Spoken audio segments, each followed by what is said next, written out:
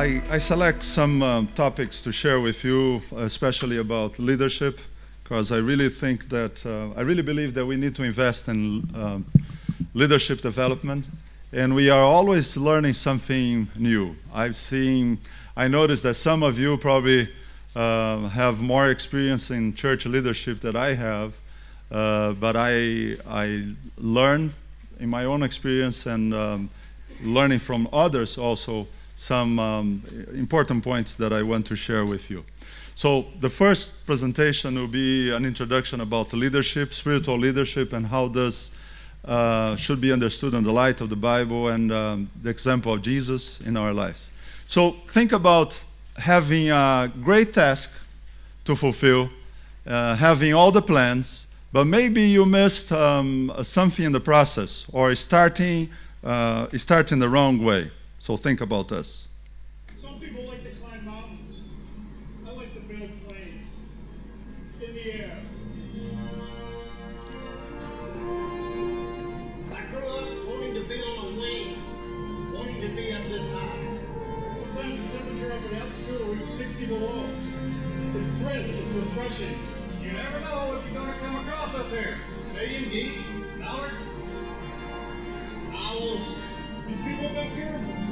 Come to work.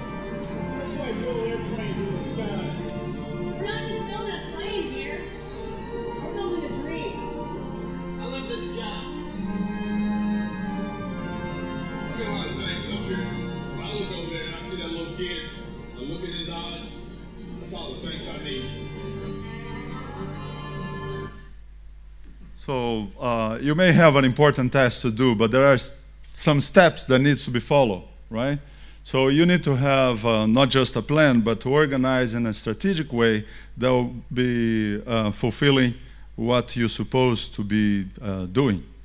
So, uh, what is leadership? What kind of experience or example um, uh, Jesus uh, gave to us? So we read in Luke chapter 19, verse 10, that Jesus explained or summarized his mission in a very simple way. And I like the way Jesus presents his um, you know, teachings and, and describe his own ministry. Uh, he's so practical and he's so simple that a child can understand, and at the same time can be so deep that uh, uh, someone with a lot of experience or a higher education can still find something to think and meditate about it. So Jesus said, For the Son, can we read it all together? For the Son of Man came to seek and to save what was lost. Pretty objective. Jesus had a pretty good idea of his mission and what the reason he was here for. And you remember several times on his ministry that people came to him and, uh, and it was like um, was a distraction or a detour on his ministry. Uh, one day, his mom came to him and said, "Oh, they're missing uh, wine in the party," and he answered, "What I have with this?" And some people might think that was kind of a, a weird, you know, answer to Jesus, and maybe even some disrespect from that, but not really. Uh, that's that wasn't the case but he was focused on something that he had to do. In another um, occasion, um, a woman came to him and asked for a favor, and he said, I came with a purpose to reach out the lost sheep of Israel. And, uh, and then he made comments about her. It was like him, he was putting her down, but actually he was testing his, her faith. And, uh, and after uh, that short conversation, she received what she was uh, asking for. but Jesus was pretty focused on what he had to do in his mission. That's the point I'm, I'm trying to make here. So, uh, Christian leadership follows the pattern of uh, the servant uh, leadership. And I know that sometimes it's harder for us to, to understand what is the meaning of um, you know, being a servant uh, and being a leader. But Jesus explained this in the words the one who rules like the one who serves.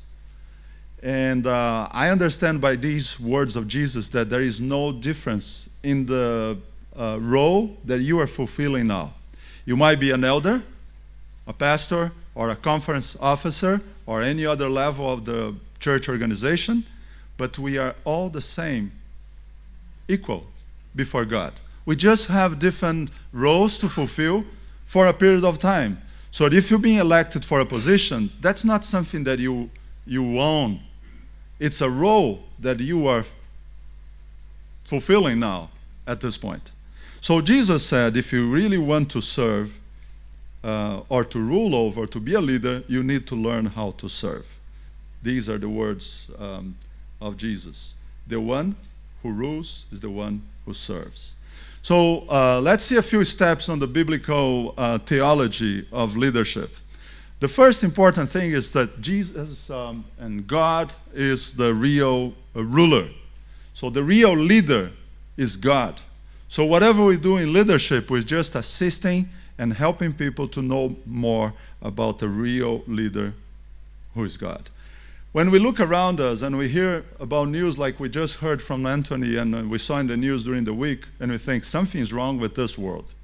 Because if God is the real Lord, He is the real ruler, something is wrong with this leadership. What do you think? So, what's the reason that things are not so good like the way it used to be? Something is wrong with those who are following the leader, right? So, in a sense, when our first parents gave up the dominion that was given to them over all this um, new uh, created uh, planet, they gave away the leadership responsibility. So um, uh, the enemy took control of it. But it's important to understand that God will take it again. He intends again to be the direct ruler of humankind. Another important point is leadership is a role we fulfill, not a status. And this is why I was saying a little while ago. And I, I work in different places, and um, at least in two different divisions. And I was elected for uh, office a couple of times. But every time it comes to the end of the term, I don't know how you do here in Australia, but in, in, in my country, they, they have a lot of changes. Once in a while, they change. In other places, they don't change much. But whenever it comes to the end of the term, I pack my personal stuff and put in the car. So I don't have to come in the middle of the night to, to collect my personal you know, belongings. Because the church asks you to do something at the end of the year or every two years, whatever you know, term you are elected for, you finish your work. And you don't have to feel that you're being rejected if the church didn't ask you to go back and do the same thing. I was having, um, I was pastoring um, in New England, and one of the ladies and one of the leaders there, an, um, an elderly lady, and she was personal minister in that church for years. But that year, she wasn't elected for the job. And I was concerned to let her know. And I told um, uh, the committee that I would talk to her. When I spoke to her, she said, Oh, Pastor, I'm so happy. I said, What? I'm so happy because now I don't have to sit in committees and church board. I'll have more time to do God's work. And I thought, what a wonderful uh, attitude. And she actually, after that, she developed a ministry helping the new um, um, comers to discover their gift. So she kind of become a, a spiritual gift, uh, you know, mentor for the newly baptized people. It was a blessing for so many people because now she had more time for ministry. Uh, that's the kind of attitude that God expects from all of us. Leadership is a role we fulfill, not a status. Leadership requires high standards. As a leader, we people will be looking to us, and we have to give a testimony, a good testimony of the leadership position that we we are um, fulfilling. And all the time, remember that we should lead humbly. Don't let your position, you know, go up in your mind and think that you are better than anybody else because you're fulfilling a special role in the leadership of the church. Is that pretty simple, but it's important to be reminded? What do you think? I see some of you taking notes. The other had a good memory, so you don't need that. Uh, something that took place in recent years in the church. Uh, in the mid 50s, uh, church growth movement was a pretty uh, big thing in the Christian church. Adventist church takes a while sometimes to um, start being involved in uh, new trends, but uh, was big in the 60s to 80s. Then we have church health, and then we have uh, spiritual, how do you call nat- natural church development, which are all good tools that we can still use and we are still using. Uh, but then in the late um, uh, last 15, 20 years, the missional approach to um, to um, leadership or mission uh, took place in the more recent years. Um, so this is um, this is something that we see some kind of trends that are taking place. It looks like um, we see those movements and we think, what is the best? What is the next thing that is coming? Well, I remember visiting my country a few years ago, and I saw on the cover of one of the major magazines in Brazil there was um, a picture of a large church building saying mega churches are coming.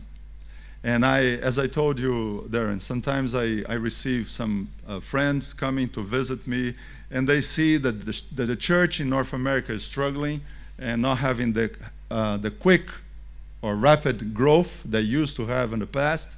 And people sometimes are tempted, especially when we come from a different country and we see the church in the Western world, like um, in Europe or America or here in Australia, in countries that are more secularized and uh, you know religion doesn't grow and doesn't uh, it's not part of the majority of the population.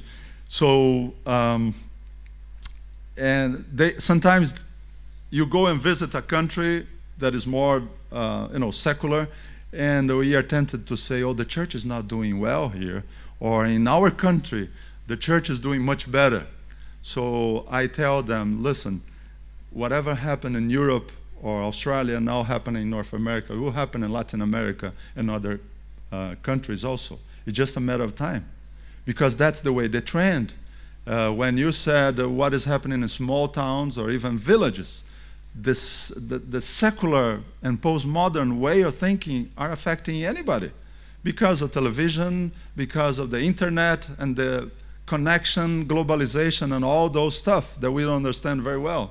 But uh, it's part of the process of, uh, you know, society going away and uh, going away of, of God and what is important. But at the same time, we have an opportunity because um, spirituality is a big thing today. And you can see it through the movies and the, and the theaters, the series on TV, a lot of stuff in spirituality. So people today with the postmodern way of thinking, they might be not interested in religion, but they might be interested in, in spirituality. And you can be religiously uh, correct and spiritually corrupt. That was the problem with the Pharisees in, the, in Jesus' time. Religion was so important for them that they forgot the relationship with God, which the proper meaning or the, or the spirit or the reason of any religion. So for us today, uh, we may feel the same challenge because we are so secure that we have the truth, we have the gospel for this time, we have the present truth, and we are the remnant, but we cannot forget that every day our daily responsibility is to look for and spend time with the Lord. And this is why Ellen White says we should be we should spend at least an hour every day. And even more if you are a leader. Even more if you are in the front of leadership and you're supposed to give uh, and share with others, we cannot share what we don't have. So, with this new uh, approach that is called missional, uh, there is a kind of revival or renaissance of the original meaning of, the, of Christianity. So, it's actually nothing new, it's more biblical than used to be. We have a lot of things in our church that is just Christian tradition, but it's not based in the Bible. And I'm, I'm not saying it's not good, I'm just saying that it's tradition, Christian tradition and not based in the Bible. Tradition is not bad in itself, unless if it's against the Word of God, right? We have good traditions at home. Uh, we still uh, love rice and beans, arroz y habichuelas, no? Uh, but I remember spending uh, my first trip to America, and I was, um, you know, we are for a few days looking for a place to eat, and we couldn't speak the language. It was very hard.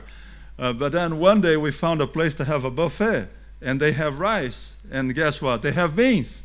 The only challenge was that I didn't know. I, I, brought, I put a lot of rice and beans on my plate, but then I found out that the, the beans were sweet. So something was wrong. Who in the world is going to put sugar on sweet? Because on my tradition, my culture, that wouldn't make any sense, right? Well, guess what? This morning I have kind of sweet beans and for breakfast. But, um, uh, uh, but tr- tradition itself is not bad as long as it's not against the Word of God, right? But what I was saying before was that um, we need to look for and trying to have in our service, in our spiritual uh, devotional time, be as close as possible to the Word of God and, uh, and the early church and, uh, and uh, the example of Jesus and the apostles. So, uh, this understanding of um, missional thinking or missional leadership is actually a return to the biblical New Testament model of leadership. So, let's go back to the Bible. This is the idea. So, talking about leadership and mission, the basic mission of Christianity is not the health or growth of institutional uh, churches, but the expansion of the kingdom of God. So think about this when you when you're doing any kind of outreach. See, the reason we do outreach is it should not be to make new members or to expand the Seventh-day Adventist Church. It has to be beyond that. Our main purpose should be to expand God's kingdom. Of course, we understand that the Seventh day Adventist Church has a special purpose, and this time in history. And this is the reason we are here, right? But we need also to be receptive and understanding and inclusive to other Christians that are trying to do their best as they also preach the gospel. And not having a kind of um, you know, superior attitude, think that we are better than anybody else. I don't know if you heard that story, but uh, I was reminded not too long ago by our, our classmate, um, Honorio um, Anthony, attending uh, the classes together. We had a friend, he was Presbyterian, but he was from Brazil. So I connect with him, and one day he came to me and said, How come in our country we are enemies, and here we are prayer partners? And he told uh, a story about a Seventh day Adventists. He said that in heaven, there will be a special group in heaven, and they're going to be by themselves. And uh, others pass by and say, Who are they? They say, don't say anything aloud. They're Seventh day Adventists, and they think they're the only ones here. You probably heard that, right? But uh, that's most of the time the attitude or the, the way we think about ourselves. We are so good. No, we had, a, we had the truth that uh, to be saved, you need to be Adventist. Well, that's not written in the Bible, okay? Uh, uh, and I guess um, uh, we're going to have some surprises when we get there, right? Uh, but anything we can do to help someone to move from um, uh, agnostic, atheist, or um, Christian but not religious person uh, someone that never reads the Bible, don't understand the basics of the gospel, and help them to move to a closer relationship with Jesus and accept Him as Lord and Savior. This is outreach and evangelism, and this is our mission. And doing that, we're going to help to expand God's kingdom. John Maxwell said once the spiritual leader is the one who know the way, go the way, show the way, who live with people to know their problems, and live with God in order to solve them. It's like what, um, well, um, Enoch doing something like that, right? He walked with God, so close with God, but at the same time, he was among uh, um, men living as a common person. But he spent so, so much time with God that one day the Lord said, You know what? You, we have been spending so much time together. Don't even go back to our home. Stay with me. And he never came back to his place. That's the kind of uh, uh, lifestyle that we, we need to have. For many years, I thought, uh, and I even, I think I, I said this so many times everybody has to be an evangelist. Well, the Bible doesn't say that we have the gift of evangelist. It says that some have the gift of evangelist. Some, not all. But all of us need to have an evangelistic way of living. It's different, right? So I may not be, you know, a good preacher doing public evangelism or preaching to large crowds, but I need to live in a way that people will ask questions, and I should, with humble heart and um, you know, in a caring way, sharing the good news of salvation. So I, we all need to live an evangelistic uh, lifestyle, but not all will be evangelists in the sense of um, preachers and that. You understand what I'm trying to say, right? Yeah, make sure you follow me because uh, even, um, uh, you know, it's not my first language and the accent doesn't help much. So uh, you let me know if it's not clear. I can I can say the same story in different words. All right. So, uh, what's that? Yeah. I'm still struggling with that. Yeah. so the church is an organic organism, a community that is on a mission. So the purpose of, um, of um, all the organization is to give support to the local church doing their ministry. It's not the, the other way around. I, I hear a lot of times leaders in church doing you know, kind of speeches saying, well, please support this project, support that project. No, no, no. I think it's the other way around. We are here, the administration, the departments are here to support your work. So you tell us, how can I help you? You know, when you go to stores in America, it's like Walmart they have on their badge, how may I help you? Okay, that's the idea. The organization exists to facilitate the process of what taking place in the local church because that's where ministry really happens. So, uh, one often referred to as the Great Commission sends the church on a mission of making disciples. The other, perhaps, best referred to as the Great Omission of the church, and it's described in Matthew 25 and presents faithfulness to God as evidenced in acts of social and humanitarian compassion. So it's not only what we say, but it's also the way we live and how we react uh, with the events that are taking place around us. So, this is the kind of church that we had in the beginning the early church, the apostolic church. The New Testament church has all the hallmarks of a total involvement movement with little or no centralized structures. They didn't have ordained or professional ministry class and no official church buildings. I'm not saying that we cannot have that, but I'm saying this was not part of the early church. Later on, they start using, you know, um, buildings and they have organized uh, leadership on the church. And the apostolic role is the ultimate role of these, the, these leaders with the purpose to call the denomination away from, the, from maintenance back to mission because that's the reason we exist. So I challenge you this weekend to think uh, this way. As leaders, our main responsibility is not just to feed the people and to you know hold a nice spiritual service it's way more than that it's to lead our church back again to mission the reason we were established so what is the what is the right way of putting that the church has a mission or the mission has a church what came first the chicken or the egg so that's a, a very important you know, dilemma to find out. What came first? The church or the mission? The mission, are you sure? So that if that's right, the church was organized or was built to fulfill mission, right? So in that sense, mission is more important than the church. Yes or no? Are you sure of that?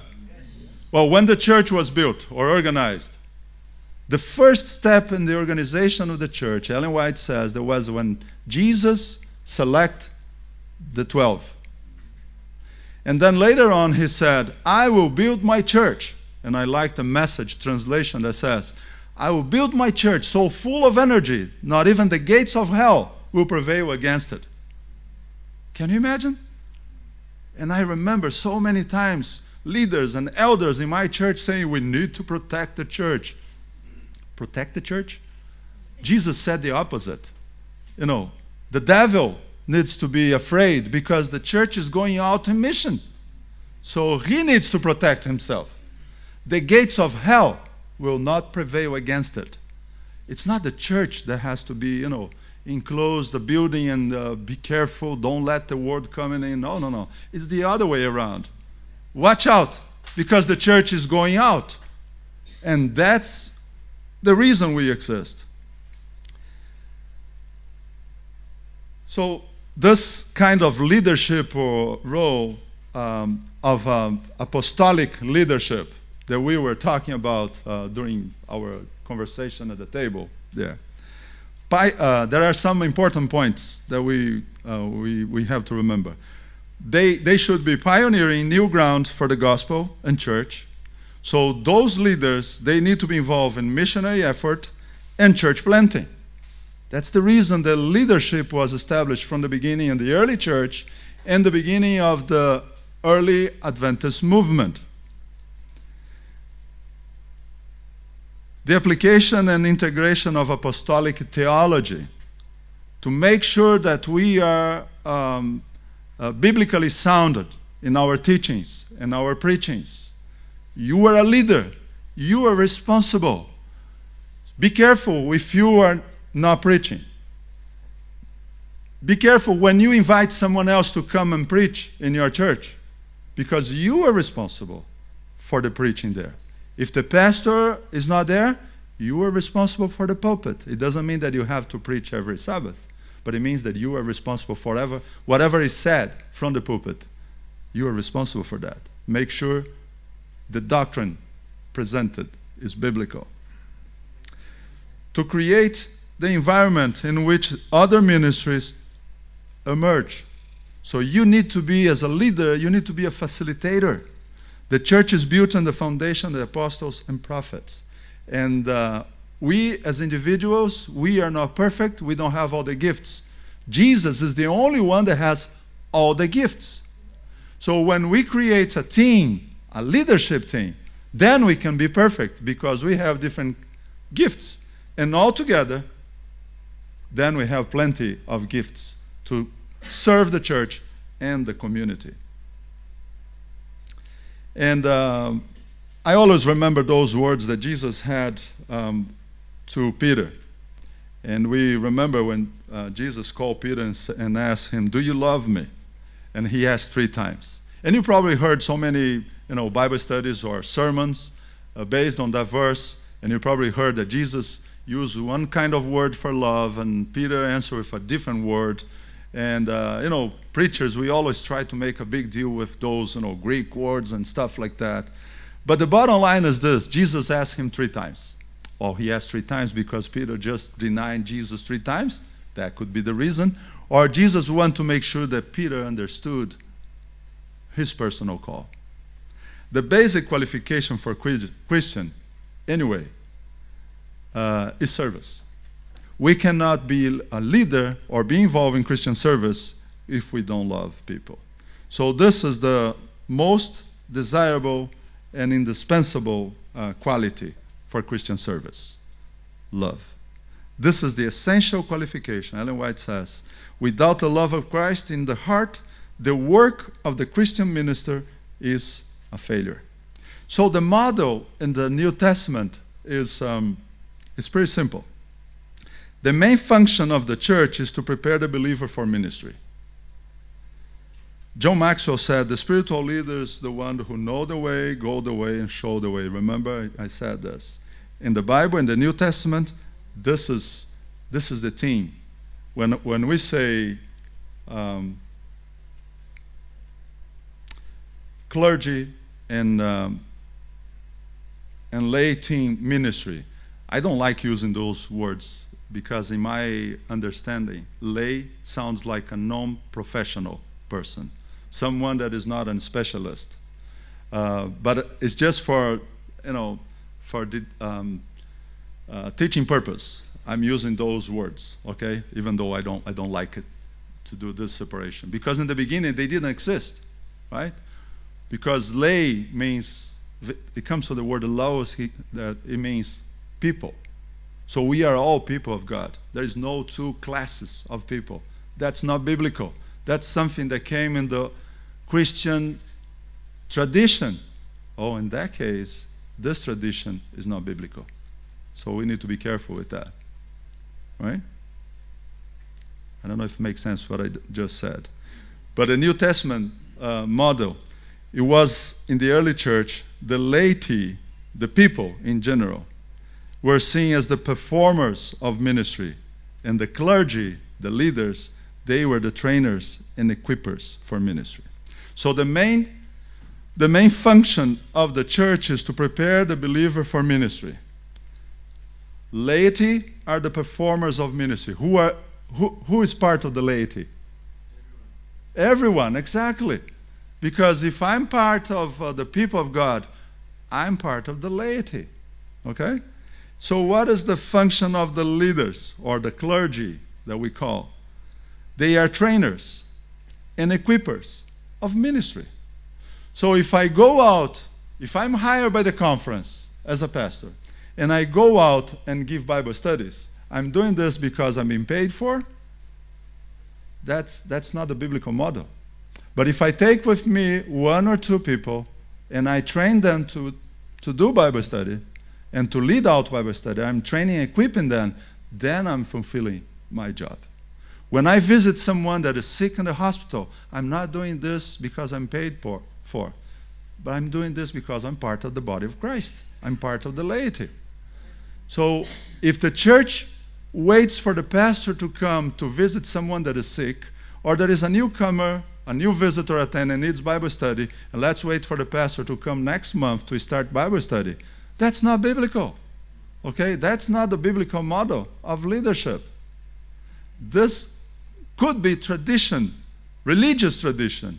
And we know that historically, we always remember Constantine uh, because of the influence he had with the change of day of worship from Saturday to Sunday. But probably the even the most another most maybe the most important influence from him was the changing of the way of worship and the way they have establishing priests and now attending or, or having worship service in big uh, temples. That changed totally the way we understand religion. And because of that we have in our heritage christian tradition which is not biblical in this case a way of thinking that is not the model of um, the New Testament model of leadership. Ellen White says that Christ's followers have been redeemed for service. Our Lord teaches that the true objective of life is ministry. And ministry, the word ministry means what it means. We were talking about this during dinner. Service. Exactly. That's the meaning of the word. It's the same word for diacono, deacons. Christ's followers have been redeemed for service. So the reason we are here, it's a purpose, not a fate, nor chance, nor luck, nor coincidence that you are here today at this very moment. You are alive because God wanted to create you. And the Bible says the Lord will fulfill his purpose in me. So the word ministry has been misunderstood. In the Bible, the words servants and minister, they are synonyms, as are service and ministry. The verb diakoneo means to minister to, to relieve, to assist, to supply with the necessities of life, provide the means of living, a commission or ministry in the service of the gospel. Is that pretty simple, isn't it? So, in that sense, all of us should be deacons even though we select some and give them the title, because they're kind of the managers or they facilitate the process of organization to make sure that everybody in the body of Christ receives the kind of uh, attention they deserve. If you're a Christian, you're a minister. And when you are serving, you are ministering. I remember once I was hearing uh, a, a, gospel radio um, station, and I heard in an interview, and uh, during that conversation, uh, the person from the station asked the, the guest, So, what, what do you do? And the person said, I'm an ordained plumber. I said, What what do you mean by that? I said, I'm an ordained plumber. And then he explained, Well, I was called by God for ministry, but I do my I make my way of living in plumbing. Right? It makes sense, no? So you you above everything you do You've been called by God. So you are a minister. So you can minister as you drive, as you work in construction, as you work in the office or in the factory. It doesn't matter what a kind of you know, activity you do. It doesn't qualifies or, or identifies or defines who you are because we are all ministers called by God. In the healthiest of churches, the pastor is doing the leading while the lay people are doing the ministry this is a biblical uh, statement, even though you know the person is not Adventist. But in this case, he, he made a quite you know good statement here, and this is clearly the New Testament model of leadership.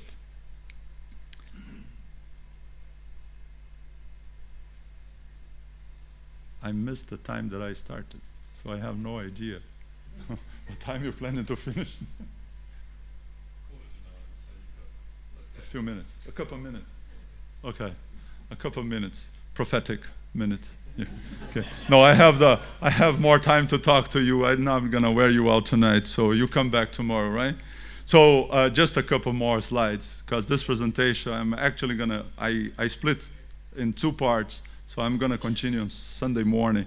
The most excited one when the Bible uh, presents, the New Testament presents the relationship between elders, pastors, uh, and overseers, or um, the different words used in the New Testament for the leadership. And it's pretty uh, quite amazing. We're going to spend some time on that. So, just trying to finish that uh, part or that concept of spiritual leadership in the New Testament model. Uh, 1 Peter 2, verse 5 all Christians belong to the holy priesthood. And this is not a New Testament teaching only. That was presented in Exodus chapter 19. If you go to Exodus chapter 19, you're going to see that. Right after when um, Moses organized the, the people of Israel in groups and established leadership of 100, 500, thousands, those uh, leaders, the church, the people of Israel was organized in a certain way that now uh, Moses didn't have to stay with uh, you know hundreds or thousands of people in front of him the whole day. Remember, his father in law gave uh, this advice. So I'm pretty sure that his wife was complaining. This man is crazy. He stayed the whole day with a line of people giving them advice. And, uh, and at the end of the day, he didn't talk to all of them. Some will take a note or get a number so they come online the following day to talk to him again. So when Jethro came and spoke to Moses, he said, What you're doing is not good. Remember those words? He was doing God's work. He was doing the best he could. And his father in law came and said, What you're doing is not good. It's not good for you. It's not good for your family. It's not good for these people. When he organized the leadership in different levels, the Bible says there was peace among the people. Moses went to spend more time with God. So the leader became more spiritual because now he had more time to spend more time with the Lord. And the leaders, we have a, several layers of people involved in leadership. And we have a saying, my country say, do those who are paddling don't rock the boat. If you're busy working, you don't complain, you don't give trouble. So if you empower and equip and involve more people in work, you're going to have less trouble. That's the reality, and that's the principle. Uh, God wants you to have both a ministry in the body of Christ and a mission in the world. 1 Peter 2, verse 9 says the royal priesthood is called to declare the praises of him that he called us. So there's a purpose for this call, and the purpose is to share the good news of salvation. So discipleship is a journey, and leadership is part of this journey. So in the process of knowing Jesus, know, uh, receiving Him as personal Savior, becoming a follower of Jesus, this is disciple making process. We understand and discover our own gifts, our personal call, and we employ those gifts to serve others and to share the good news of salvation. We're going to come back again to this principle on Sunday morning, and we're going to talk uh, a little bit more about the discipleship journey. But uh, we identified ourselves with the life of Jesus, transforming the secular realm, serving with generosity, and participating in spiritual activities. This is part of the process of getting acquainted with Jesus, developing a way of living uh, that will be closer to Him, and in our daily walking uh, and developing this uh, relationship as followers of Jesus. In the New Testament, the church does not have a priesthood.